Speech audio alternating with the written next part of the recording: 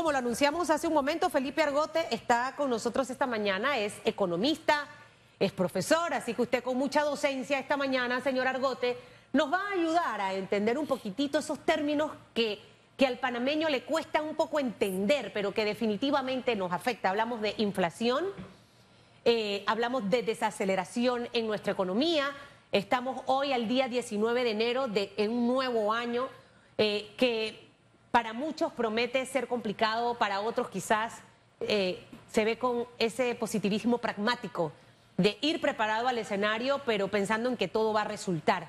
¿Cómo va a arrancar este primer trimestre a nivel de tema de inflación, a nivel de tema de desaceleración, entendiendo lo que ocurre en Estados Unidos, que es un mercado que de una u otra manera afecta nuestra economía en Panamá? Bienvenido. Feliz año, no lo había visto. Gracias, feliz año y buenos días a ti, a los televidentes.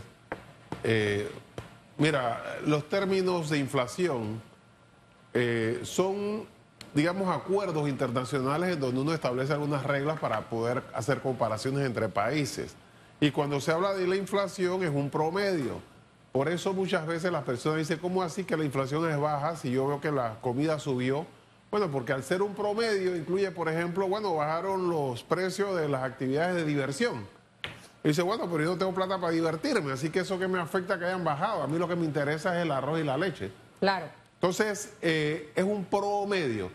¿Qué es la inflación?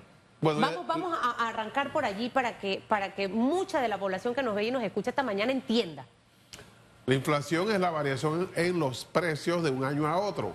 Entonces, se usa el término para decir cuál ha sido la variación, pero la inflación es cuando eh, el aumento de los precios es bastante alto. Es decir, que para, para, para entenderlo de una manera más fácil, la inflación es cuando todo sube. Cuando todo sube, entonces, eh, cuando hablamos de una inflación baja, es porque en Panamá la inflación anda por 1.5%, no más de 2%. Entonces, pero como digo, es un promedio del aumento o reducción o variable de los precios. Entonces, unos suben, otros bajan. Puede ser que la comida suba 5, eh, el pasaje baje 2, o sea, y al final es un promedio que da 1.5. Si a ti te afecta la parte que subió, tú dices, no es cierto que subió 1.5, porque yo fui a comprar yo usé el pasaje y subió. Entonces, eh, en comparación a, otros países, eh, para ponerlo en perspectiva, de ese 1.5 en este momento en el que nos encontramos. ¿Cómo está Costa Rica? ¿Cómo está Colombia? ¿Y cómo está también los Estados Unidos? Claro, eh, el asunto es que por eso es relativo, porque son países que tienen, por ejemplo, Costa Rica, Colombia, Argentina, Venezuela, son países que tienen eh, su propia moneda, entonces la variación con respecto al dólar es lo que hace que, por ejemplo, eh, tengan inflación tan grande que en Argentina tú consigues tu dinero de tu salario en la mañana y sales corriendo a gastarlo, porque en la tarde puede ser el doble del precio. Esas son eh, inflaciones de alto nivel o hiperinflación. En cambio, eh, nosotros lo vemos de, mes a mes o de día a día y no vemos gran... Hay variación, por supuesto, pero comparativamente es baja con lo que pasa en Venezuela. En Colombia, por ejemplo. Para Colombia, al tener una moneda propia, los productos en Colombia permanecen más bajos. Lo que puede subir entonces son los importados, porque además de la variación en los precios por costo, está la variación de los precios por el intercambio de moneda, por el cambio de moneda. Entonces se debilitan con respecto al dólar por una serie de factores. Por ejemplo, cuando sube la tasa de interés en Estados Unidos, la gente agarra los dólares de Colombia y los lleva para Estados Unidos, hay menos dólares por tanto, el valor de los dólares sube y el valor de los pesos entonces baja. Como usamos el dólar en Panamá, nosotros no vemos ese problema del cambio en la inflación, pero eso no significa que siempre sea bueno. Y por eso también observamos que mucha gente dice, me sale mejor ir a Colombia, ahorita todo está barato, como más barato en restaurantes porque al final me toca pagar menos. ¿Cómo mezclamos el tema de inflación y el tema de desaceleración en nuestra economía? Y si esa inflación de 1.5 que tenemos en este momento, licenciado Argote, se va a mantener hasta cuándo? Tenemos un periodo preelectoral que arranca con fuerza este 3 de febrero. Se espera que haya una inyección económica en el país, eh, pero mucha de esa inyección económica se va a ir fuera. ¿Por qué? Porque la mayoría de la publicidad hoy, con respecto al tema de la política, se va a ir a plataformas digitales que no pagan impuestos en la ciudad de Panamá. Entonces, pongo este elemento dentro de la mesa porque quizás muchos están esperando. Es que ahorita vienen los políticos y van a empezar a invertir. Sí, pero no todo ese pastel se va a quedar en la ciudad de Panamá. Cuando usted se, mete a un YouTube, eh, eh, se mete a, plataformas que hacen ediciones de videos, de InShot, de Cap Capture, usted va a ver la publicidad de nuestros políticos por esa plata, va para afuera. No se queda en Panamá. Entonces, hablemos un poquito, inflación se va a mantener 1.5 hasta cuándo, puede crecer, puede bajar, cómo se combina la desaceleración y el impacto que va a tener en la economía en estos meses arrancando 3 de febrero, la, ya el cierre de la veda electoral. Eh, claro, mira, por tener el dólar, nuestros precios son altos. O sea, ya los precios son altos. Entonces, cuando tú dices variación en los precios, pues tú vas a variar de alto a un poquito más alto. Mientras en otros países que los precios son bajos, Panamá es la ciudad de Panamá es la ciudad número 25 más cara del mundo. O sea, los precios que tenemos aquí son, están por encima de Barcelona y de Madrid. Aunque allá y en los otros países comparativamente tienen eh, ingresos cuatro veces más grandes que el, el panameño. Entonces ya las cosas están caras. Por eso decimos, bueno, la inflación subió un poquito, subió un poquito de alto más alto. Mira, mucho de los que se habla de eh, en, un, eh, en un patrón de riqueza del país, es un esquema que está, como he dicho, ya establecido a nivel internacional. Entonces, como tú dices, gran parte de esa generación que se da se queda fuera. Y como hay una pésima distribución de la riqueza, hay un sector que tiene mucho dinero y ese sector no va a ir al restaurante cuatro veces por día, ni va a ir al super diez veces por semana. Entonces esa gente se compra un carro italiano, eh, se va y compra una casa en Miami, así que esa plata se va. Es como el caso de la minera. O sea, si la minera se llevaba 1.400 millones, realmente ese era lo de utilidad esa plata se iba a sus accionistas que están fuera. Y como nosotros tenemos un mercado financiero que no es como Argentina o Chile, que tú no puedes sacar la plata, tienes que pagar cualquier cantidad de impuestos para poder salir, o en Estados Unidos, si tú te vas, cuando Durán eh, peleaba, eh, él no podía salir de Estados Unidos si la mitad de la plata que le pagaban no la dejaba en forma de impuestos. Aquí no, aquí tú te puedes sacar la plata como quieras.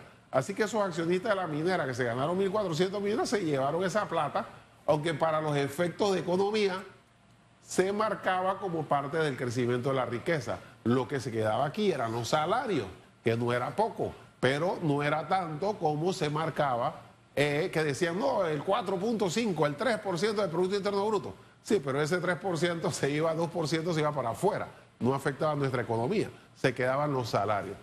Ahora, como tú dices, se va a hacer campaña y gran parte de eso se va en asesores multimillonarios de campaña que le pagan cualquier cantidad de millones para que esa gente se lleve su plata. Y como aquí no hay restricciones, ¿qué se quedará en Panamá? Eh, es necesario, y tocando este aspecto, porque en esta administración, de hecho, eh, algo se logró avanzar, con, específicamente con las plataformas de medios de transporte, eh, específicamente para el pago de tema de impuestos y, este tipo de contribuciones que sí necesita el Estado. ¿Cuánta plata en realidad quedará en Panamá, al menos en el primer semestre, hasta mayo? Eh, ojo, porque después, entre mayo y junio, no sé qué va a pautar el que ganó o el que no ganó o qué es lo que va a pasar. Eh, pero, ¿qué, impacto económico vamos a tener los panameños en, este periodo en realidad? ¿Y hacia dónde la, clase política, que en realidad cualquiera de esos ocho puede ser el próximo presidente de, de Panamá, debiera estar pensando en que ese dinero se quede para que circule en los siguientes meses, una vez culminado ese proceso de elección.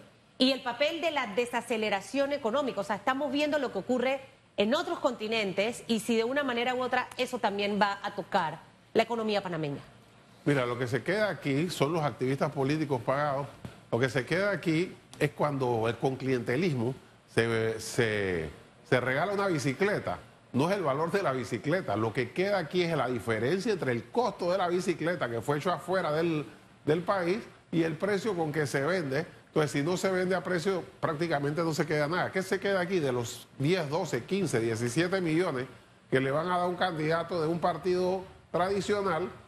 pues eso se va a quedar la parte que corresponde a banderolas, a papelería, activistas, la comida de los, de los que están eh, cuidando los votos, pero el asesor multimillonario que le da la plata se lo va a llevar para Chile o se lo va a llevar para Argentina o México, que es donde son los asesores que dicen que hacen, que ellos mismos dicen que hacen presidente, la mayor parte de los, de los veces no lo hacen. Esa plata se va para afuera. Esa plata, y gran parte de esa plata, sale de nuestros impuestos, porque recuerda que son subsidios electorales. Pero ahora, por ejemplo, dado que hace un minuto usted mencionaba el tema de la mina, em, ahora tenemos este otro escenario, ya está todo el plan de cierre andando, pero lo que sí se había visto en los últimos años eh, fue un crecimiento en el área de Penonomé a, nivel comercial. De hecho, cuando usted hace una investigación con los bancos, la cantidad de préstamos, eh, el Banco Nacional solamente hace un par de semanas hablaba del número eh, en porcentaje con respecto al tema de las hipotecas, ¿no? Eh, y tenemos el escenario también allí latente de perder nuestro grado de inversión. O sea, hay tantos elementos en la mesa, señor Argote, que es lo que genera muchísima incertidumbre, porque ya la mina no va a estar, por lo que se vislumbra que ese crecimiento que estaba viendo poco, más o menos o mucho, Penonomé ya no va a darse, podemos perder nuestro grado de inversión, eh, aunque estemos en campaña política.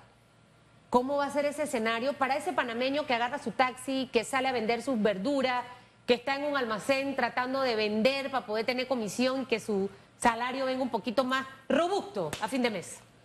Mira, eso es muy sencillo. La economía es sencilla. Lo que pasa es que hace difícil para que la gente crea que nosotros sabemos mucho, pero eso, mira, esas personas, ese efecto, recordando que la mayor parte de lo que se quedaba era salario. Eh, esa gente que recibe seis meses por liquidación, un año por liquidación, recupera esa plata, por tanto el efecto no es hoy. El efecto de que se le acabe la plata puede ser en seis meses, a menos que esa persona ya que tiene un capital, ponga un negocio y entonces genere riqueza. O sea, toda esa plata que se da en liquidación no se mete en un colchón, eso se va a la, a la economía y por eso el efecto no tiene que ser inmediato. En el marco de eso es cuando tiene que ver cómo poder cubrir eso y si el Estado tiene una perspectiva moderna que no la tiene ni esta ni muchos candidatos que se la pasan diciendo que están esperando la confianza para que vengan los inversionistas de afuera lo cual significa que tú estás esperando que el vecino sea el que te compre el súper, en vez de estar haciendo un plan que tenemos la capacidad y tenemos la inversión y tenemos el dinero para que nosotros generemos crecimiento económico y entonces los inversionistas que complementan vengan porque aquí esta economía está creciendo. Lo que pasa es que se está viendo siempre el marco de la economía desde la oferta, que es lo que yo digo. ¿Qué significa eso? Te dicen, mira, Susan, eh, trata de ganar poquito, porque al menos tienes el, salarito y con eso la, empresita funciona. Eso no es así, es a la inversa. Tú puedes afectar la inflación bajando los precios o subiendo tu ingreso. Claro. Entonces, si tú tienes un ingreso superior. por eso que usted ve a mucha gente, eh, me incluyo, que tiene, eh, busca varias puertas para poder trabajar. Tiene dos, tres, cuatro trabajos, hace una cosa aquí, una cosa allá para que esos ingresos al final puedan aumentar. Pero eso que usted dice es tan fundamental que se le ha vendido mucho a la gente. De hecho, ahorita con el tema del aumento del salario mínimo, las respuestas que teníamos hace un par de semanas aquí en, en, X es que la gente decía, como subió el salario, ahora va a subir toda la comida. Eh, y vamos a ver que se dispara esto, que se dispara aquello. Tenemos un aumento que, que suena por ahí, que desmienten que sale de la electricidad y que definitivamente todo eso mantiene en zozobra. Entonces, ¿cómo el panameño realmente, con este panorama, licenciado Bargote, debe programar al menos sus primeros seis meses? Si no tengo un buen empleo, y eso quiere decir un buen empleo donde tenga los ingresos que necesito para poder vivir, la opción es que tenga otros ingresos para que pueda tener más ingresos. Eh, la opción es hay que invertir, me compro un carro, me compro una casa, me voy a comer aquí, hago allá. O sea, ¿cuál es esa técnica? Porque la de muchos a veces es guarda la plata, tenla ahí. Pero muchos expertos dicen tener la plata guardada no produce y no hace nada. Entonces, ¿cuál sería esa receta económica para esa población que nos ve y que nos escucha a esta hora? Mira, está la perspectiva que tiene que tener el Estado un plan. El plan del Estado tiene que ser que la gente tenga más ingresos, no que tenga menos gasto. Que las empresas, mira, cuando pagan el décimo, ¿cómo están los empresarios? ¿Están tristes o están contentos? ¿Están felices? Vamos a hacer ofertas, ofertas, la gente tiene plata. ¿Por qué tan molesto? ¿Qué tal si tus empleados tuvieran un décimo todos los, todos los meses? O sea, todos los empleados. Claro que si yo lo hago solo voy a quebrar porque todos los demás no lo van a hacer. Pero si el Estado fomenta el aumento del ingreso de la gente, en vez de estar viéndolo en función de reducir los costos, y los candidatos que se la pasan diciendo que vamos a crear confianza para que vengan a resolvernos los problemas, se la han pasado dándole el país en pedazos a los inversionistas extranjeros y, eso no ha servido de nada porque no tenemos un plan propio. Como individuo, mira, esa gente, si no me pregunta, yo les digo igual, trabajadores de la mina que están recibiendo liquidación, no hagas eso de que, bueno, voy a cogerlo y me lo voy a gastar o me lo voy a... Inviértelo. ¿Qué puedes hacer para reproducirlo? Hey, ¿tú qué haces? ¿Vendes legumbres? ¿Qué tú haces? ¿Eres constructor? ¿Tú qué haces? ¿Eres especialista en tal cosa? Utiliza ese capital que necesitaba para hacer algo que reproduzca. Y si no sabes hacer nada, bueno, vende duro en ANSE para que puedas recuperarlo, porque la plata en el colchón baja de precio por la inflación. Cuando lo sacas del colchón, ese dólar vale menos. Dice Eso mismo es el Estado. Dice Harv Ecker, un escritor eh, que a mí me gusta mucho, del libro que no sé si lo conoce, profesor Argote, La mente de un millonario. Y obviamente no, eh, no es un libro que, específicamente te habla de ser millonario en cuanto a los recursos económicos, sino cómo es la mentalidad. Y cuando él hace un desglose en porcentaje de cómo utilizar sus ingresos, habla de un porcentaje, 10% si no estoy equivocada, debe estar eh, obviamente como ahorro por si alguna situación se registra. Veamos el tema pandemia, por ejemplo, que agarró a muchas familias de manera sorpresiva. Otro porcentaje un poco más grande, invertirlo. ¿Y cómo lo invierto? Y a veces la gente piensa, no es que tengo que ser un millonario para poder invertir. No. Yo me agarro, me compro 100 dólares en gorras a dólar, las mando a buscar a China, por decirlo, pago tanto en impuestos y la voy a vender en 20. Yo recuperé mi inversión de 100 dólares. O sea, para hablar de cosas como muy básicas, pero también este escritor habla, el licenciado, eh, del porcentaje que debo invertir en el esparcimiento para mí, porque no todo puede ser trabajo, no todo puede ser estrés, está el, tema también de educarse, está el tema también de ayudar. Eh, esa parte porque, ¿saben? Muchos, eh, no solo los de la mina en este momento, tristemente hay empresas que están desvinculando a sus colaboradores y tienen esa platita de liquidación. Entonces, ¿será que saco un préstamo, hago este negocio? O sea, ¿es bueno o no es bueno? Porque hay desconfianza. Y sobre todo, esperando que perdamos el grado de inversión que se refleje en el aumento de la tasa de interés de préstamos personales, de hipotecas, de préstamos de auto, tarjetas de crédito y demás. Mira, si tú tienes una liquidación superior a 10 mil dólares, lo que debes hacer, si tienes un plan de negocios o quieres hacer algo, no lo arriesgues todo. Mételo en un plazo fijo y haz un préstamo sobre tu propio plazo fijo, lo cual te da una tasa de interés de 1, no más de 2%, debe ser 1, eh, lo cual siempre te mantiene con un capital que te respalda cualquier cosa que puedes hacer y no te lo consumes si te equivocaste. No te pongas a hacer cosas que no sabes porque alguien ganó plata con eso y tú no sabes cómo hacerlo. Porque mucha gente quiebra porque aprende a hacer las cosas cinco años, le toma cinco años y esos cinco años se quedó sin plata pero sobre todo el Estado, que es el responsable de la economía, debe establecer mecanismos para que la gente tenga más dinero y eso se hace mediante un agresivísimo plan de inversiones públicas. Si el tren a Chiriquí, por ejemplo, se hace, esa gente que quedó sin trabajo en la mina puede hacer una fonda, puede hacer, si es constructor va a trabajar, si es eh, comerciante va a comercializar, si es eh, inversionista va a poder hacer cosas con eso porque hay una actividad y eso es lo que hace que los inversionistas, aquellos inversionistas que necesitamos, que no son los que vienen porque les regalamos el país o porque les establecemos un enclave colonial, sino que vienen porque el país está pujante, entonces van a venir porque dice, mira, esa gente sabe para dónde va y está poniendo la plata eh, y está poniendo la inversión donde debe ser. Pero como este gobierno se la ha pasado pidiendo prestado para consumo, fundamentalmente para clientelismo, para repartirse la plata, todos los partidos eh, tradicionales, eh, por supuesto que eso se ha ido consumiendo. Sin embargo, tengo que decir muy claramente que Panamá no es un país en quiebra. Mira, ni El Salvador. El Salvador tiene un, eh, una relación deuda-PIB de 75%. ¿Y la nuestra? La nuestra está en 54, 55%. O sea, O sea, que tampoco el panorama es tan drástico y trágico eh, de Panamá. exactamente. Po- El que te ¿Podremos, dice, podremos perder, le tengo varias preguntas, Po- ¿podemos perder el grado de inversión? Por supuesto. ¿Eso va a ocurrir? lo más probable, o sea, se tiene que ser demasiado condescendiente, porque de todos modos hay que considerar que el país creció 7%. ¿Quién, quién negocia para que eso no ocurra? ¿Quién demuestra a- eso es que realmente bueno. a pesar de que se cerró la mina, Panamá es un país productivo, que tiene una de las mejores economías, eh, que, que nos pudimos recuperar eh, paulatinamente del tema de pandemia con respecto al tema de desempleo y demás? ¿Quién hace eso? ¿O simplemente las calificadoras eh, nos están observando? Esas son empresas privadas. Es como si yo te digo, mira, yo creo que la cosa anda mal. El asunto que tienen esa calificadora es que son tan importantes y tan grandes en el mundo que los inversionistas le hacen caso. Eso es todo. Entonces, si ellos dicen, eh, eh, pierde grado de inversión, no es que nosotros quedamos como Argentina y Venezuela, que lo que hacemos es salir del exclusivo club de tres países que tienen grado de inversión, eh, que son Panamá, Perú y creo que el otro es Chile.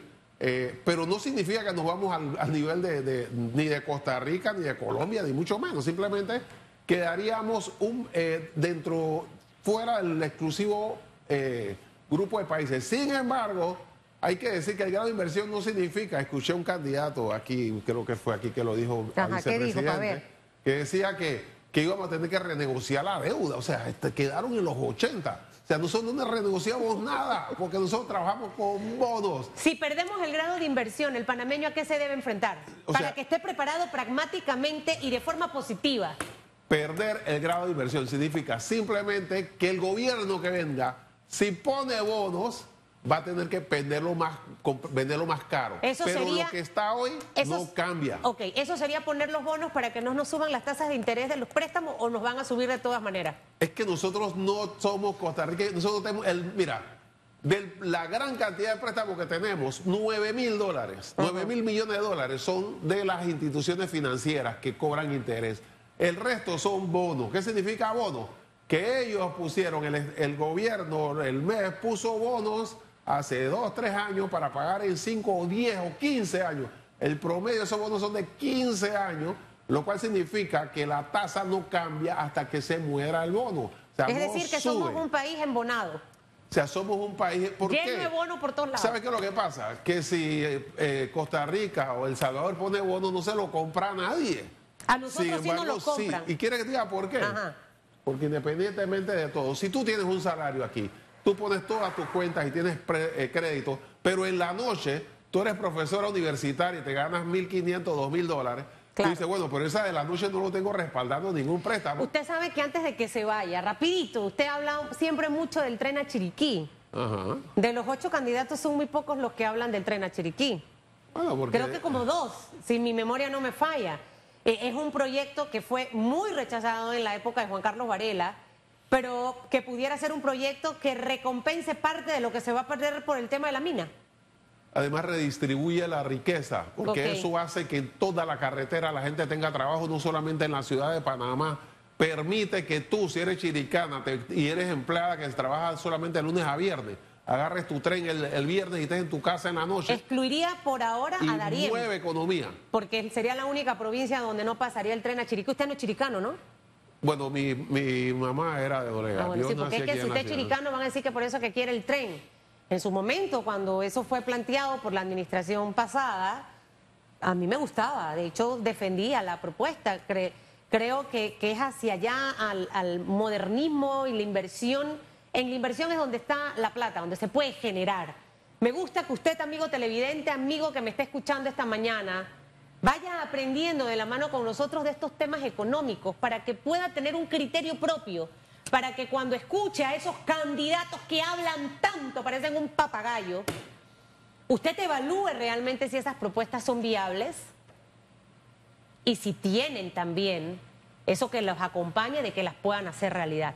Señor Argote, que le vaya muy bien con su corbata de... De Bangkok. Sí, pero es de girasoles, ¿no? Sí, esos son los girasoles de Bangkok. Usted como que le gusta mucho el arte y todas esas cosas. Mira, eh, o sea, Elisa, somos un país rico, repleto de gente pobre. Bueno, y, y- y uno ahorra para comprarse las cosas y trabaja duro.